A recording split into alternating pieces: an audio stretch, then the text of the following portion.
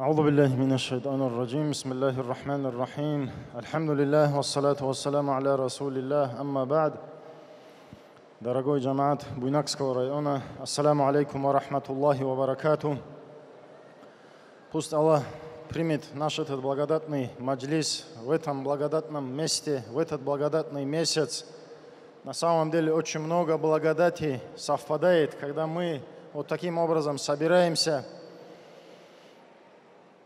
вспоминать об Аллахе, воздавать хвалу Всевышнему Аллаху. Ведь на самом деле, вот про, говоря про подобные собрания, маджлисы, посланник Аллаха, алейхиссалату вассалям, говорит, что Всевышний Аллах гордится перед ангелами за таких своих рабов, которые пришли восхвалять Его, благодарить Его за Его религию, за Его блага, дары.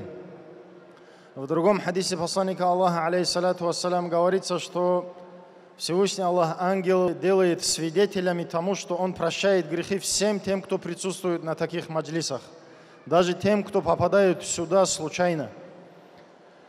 Пусть Всевышний Аллах воздаст нам всем многократно. Пусть Аллах Всевышний сделает это мероприятие и подобные благодатные мероприятия причиной искупления наших многочисленных грехов. И долго не буду говорить, хочу обратить ваше внимание на одну деталь, на один момент, на который многие сегодня, дорогие братья, сестры, не обращают внимания.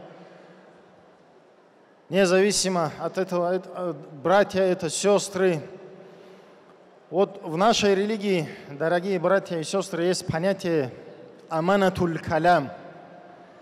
Аманатуль калям – это доверие в речи, доверие в словах – более обобщенно, если сказать, это доверие в любой информации, которую, которая до нас доходит.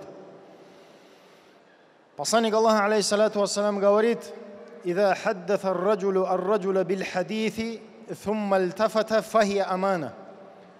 Когда один человек рассказывает другому человеку что-либо, что хотелось бы ему утаить, чтобы это осталось в секрете – и как только этот человек отворачивается, посланник Аллаха, алейхиссалату вассалям, говорит, это аманат, это доверие. Точно так же любая информация. Сегодня очень много средств для распространения разного рода информации. В разных социальных сетях, в группах.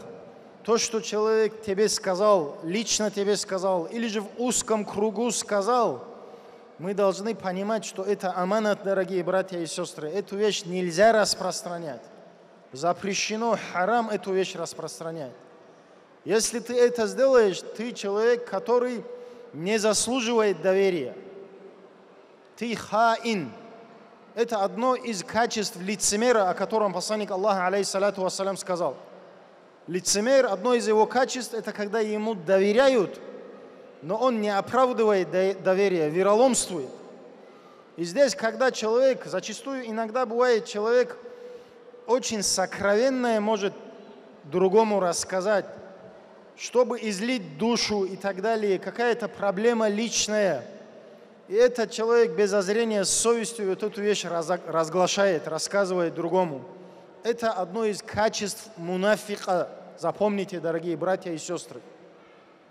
А амин – это одно из качеств, величайших качеств нашего посланника Аллаха, алейхиссалату вассалам. Доверенный, честный. Поэтому порой иногда то, что мы говорим, оно может повлиять на судьбу человека, испортить жизнь человеку, тайну, тайна, которую мы разглашаем, и не обращаем на это внимания. Поэтому нам нужно следить не только за тем, что мы говорим, но и очень следить и хранить то, что нам говорят. Верующий человек должен быть человеком, который умеет хранить тайны, не разглашать. И такого нету в нашей религии, там по секрету одному человеку сказал, нет, ты уже вероломство сделал. Ты вероломный хаин, даже если одному человеку рассказал, даже самому близкому. Кто-то может подумать, я могу это рассказать, например, супруге, или же женщина Сестра может подумать, я эту вещь по секрету расскажу мужу, все равно хиянат. Это вероломство.